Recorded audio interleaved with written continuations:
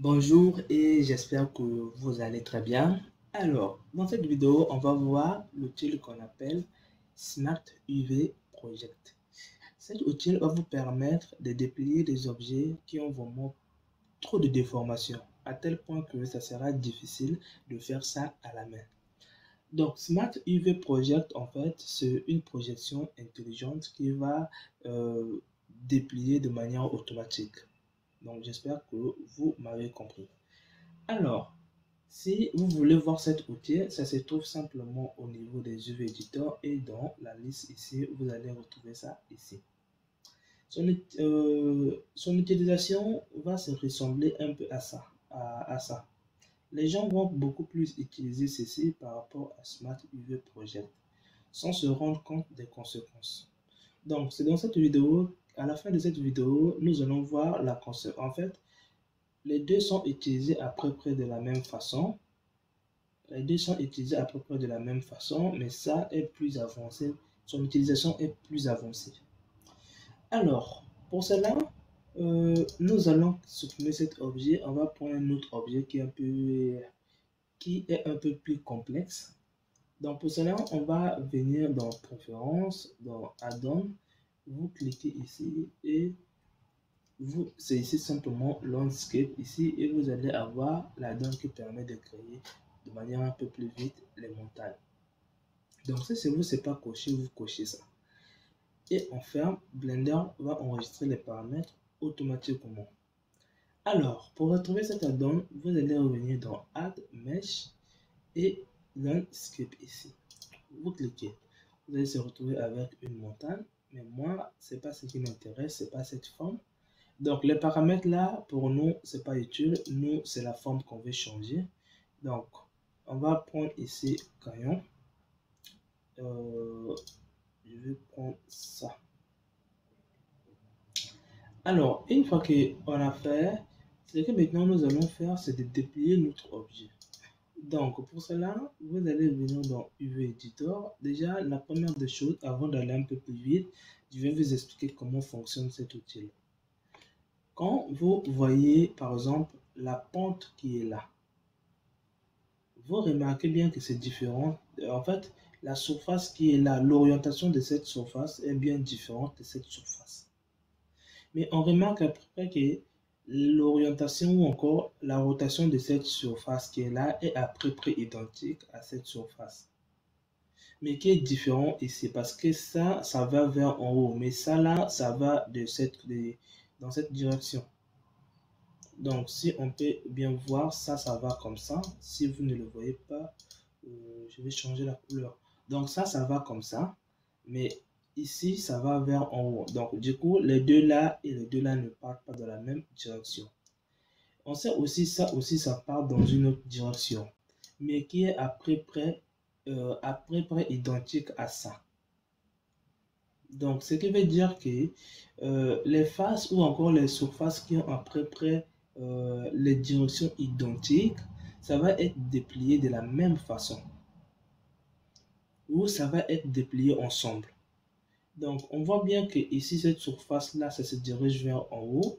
Ça va être déplié à peu près de la même façon que cette surface qui est là. Tout comme ce qui est là qui va vers en haut va être déplié. Mais attention, euh, la surface qui est là, que vous voyez ici, est en train d'aller dans cette direction qui est là. Et ça, c'est en train d'aller dans cette direction qui est là. Mais si vous prenez ça, euh, si vous voyez bien que les directions en fait, c'est à peu près la même direction, mais dans le sens contraire. Ça, ça va comme ça et ça, ça va comme ça. Mais si vous comparez la valeur de leur direction, c'est à peu près identique. Donc, du coup, vous devriez toujours avoir en tête l'angle auquel vous voulez dire que les objets vont être à peu près identiques. Donc, pour cela, nous allons le facer. Donc là, vous allez venir dans UV Editor ici. Et là, vous allez venir dans UV et vous allez cliquer simplement sur Smart Project. Et là, la chose la plus importante ici, c'est plutôt l'angle auquel les objets vont être considérés ensemble. Donc, après près, donc ce qui veut dire que les objets qui ont une angle de 0 à 60 vont être dépliés ensemble. Et ça va se, et ça va se doubler encore. Donc 66 plus 66, ça va aller, je sais pas, à 132 comme ça. Donc de 60 à 132, les objets vont après, vont, toutes, toutes les objets qui vont, euh, qui vont être dans cet intervalle vont être dépliés de la même façon. Si vous ne comprenez pas, je vais simplement le dessiner là. Donc, des, comme ça, des 0. Donc là, je pense que comme ça.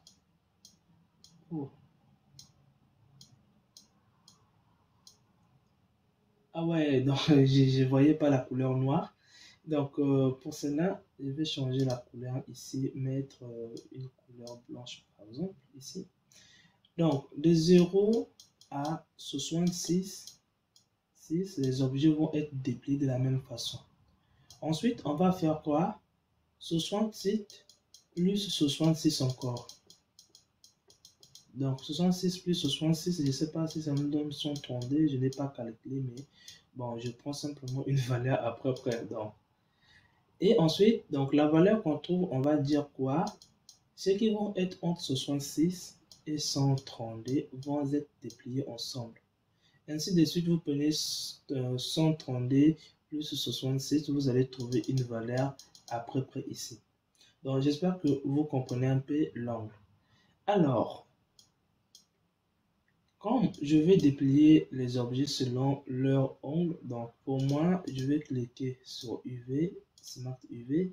Et moi, je dis, bon, les objets qui ont l'angle compris entre, euh, compris entre 0 euh, et 80 vont être, vont être dépliés ensemble ou regroupés. Donc pour cela, je vais simplement cliquer sur OK. Et là, je me retrouve à peu près les objets. En fait, non, simplement euh, les faces qui, sont compris dans les intervalles que, je vous ai expliqué. Je ne sais pas si, si euh, cette île qui est là, c'est entre 0 et 66, je ne sais pas. Ou ça, c'est entre 66 et 132. Donc, j'espère que vous m'avez compris. Alors, une fois qu'on a fait, qu'est-ce que ça nous donne sous forme d'aspect, donc son aspect? Donc, pour cela, on va venir ici. Alors, vous allez venir ici créer un matériau. Ensuite, vous allez cliquer ici, on va prendre une image, donc on va euh, importer n'importe n'importe quelle image. Donc pour moi, euh, ça se trouve dans poubelle parce que c'est là où je mets euh, tous mes projets, même si je les, je les supprime pas. Donc pour cela, je vais trouver ça dans texture. Ici, je prends par exemple cette image là. Donc là, on vient de déplier, vous voyez bien, on a quelques erreurs, telles que ici, vous voyez bien. Et au moins, euh, le dépliage s'est bien passé comme vous le voyez, mais vous allez toujours avoir des erreurs. Donc vous voyez bien ici, euh, ici, si vous, si vous venez un peu plus proche ici, vous allez remarquer un peu là, là, mais le plus important, c'est que on a à peu près bien déplié. Alors, si vous n'êtes pas convaincu, on va utiliser maintenant le dépliage par projection de vue. Donc pour cela, je vais simplement faire Shift D comme ça. Ici, je les ai. Vous allez venir dans UV. Et là, le dépliage c'est comme ça. Mais ce que nous allons faire, c'est de changer le dépliage.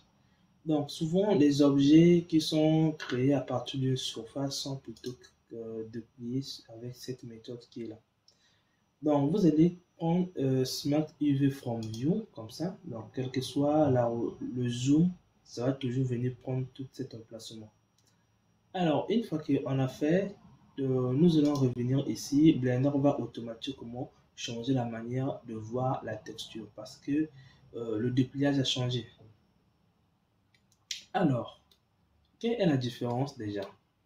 Si vous remarquez ici et ici, vous remarquez bien que l'aspect sur ici n'est pas de la même façon qu'ici.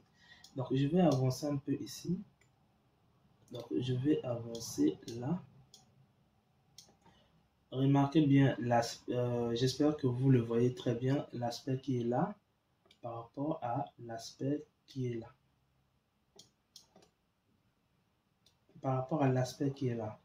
Donc ici, on remarque que la hauteur de cette euh, montagne qui est là a étiré la texture. Donc la texture que nous avons mis ici, c'est étiré. Par rapport à ce qui est là, que la texture ne s'est pas étirée, mais avec des zones auxquelles on ne sait même pas là où vient cette, euh, cette texture ici. Donc j'espère que vous voyez très bien à ne pas utiliser une texture. En fait, ce n'est pas parce que c'est une surface que vous allez utiliser UV From View. Donc faites très attention.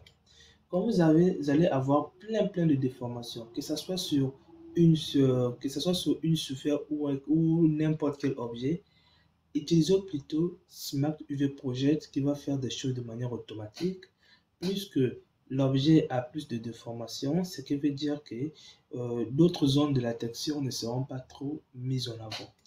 Donc j'espère que vous voyez bien la différence entre l'étirement qui est là et Smart Project entre ce qui est là. Donc euh, j'espère que ça vous a vraiment plu. Alors on se retrouve dans la prochaine vidéo.